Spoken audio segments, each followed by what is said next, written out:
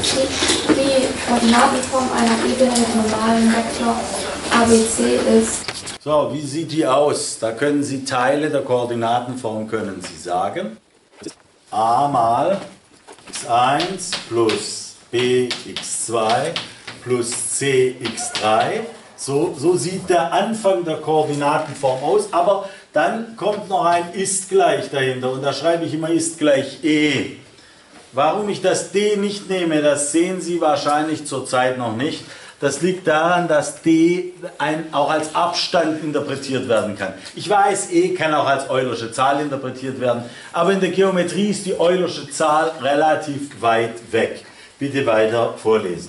ein normalen Vektor der Ebene steht als Ja, das ist so irgendwie als Zeile ja, oder als Vorfaktoren, als Zeile. Ich habe es extra in Anführungszeichen geschrieben. Weiter.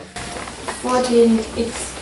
Ja, das ist also, wie gesagt, die Spalte wird zur Zeile. So interpretiere ich das. Bitte weiter vorlesen.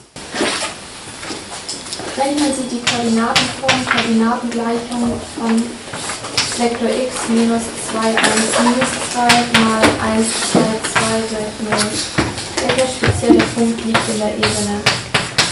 So, das ist also eine, die, die punktnormalen Form einer Ebene und aus der sollen Sie eine Koordinatenform machen.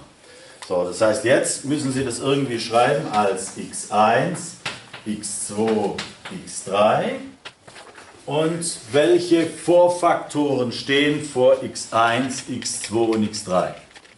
Ja, bitte. 1, 2, 2. Tatsächlich, ich mache das mal mit einer anderen Farbe.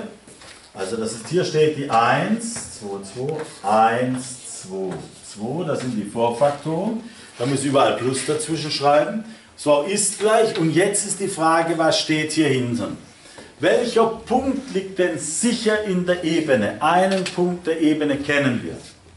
Welcher Punkt liegt da sicher drin? Ja? 2, 1 minus 2. Das heißt, wenn ich diesen Punkt einsetze, dann muss ja diese Gleichung erfüllt sein. Also setze ich den Punkt doch einfach ein. Dann kriege ich 1 mal 2 plus 2 mal 1 plus 2 mal minus 2. So, und das ist die Zahl. Ich habe ja gesagt, vorne steht ein Term, hinten eine Zahl. So, wenn Sie die Zahl ausrechnen, was kommt da raus? 0.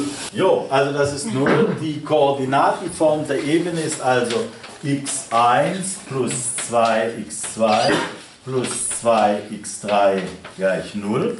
Und tatsächlich gibt es einen Punkt, den Sie sofort sehen sollten, der hier auf dieser Ebene liegt. Welcher Punkt liegt sicher in dieser Ebene? Außer dem Punkt 2, 1 minus 2, den will ich nicht haben.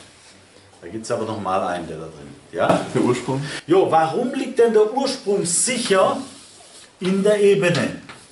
Warum liegt der sicher drin?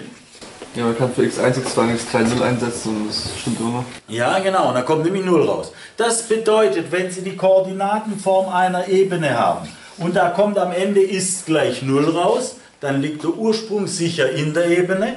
Wenn da aber etwas rauskommt, was ungleich 0 ist, liegt der Ursprung sicher nicht in der Ebene. Fragen zu der Aufgabe?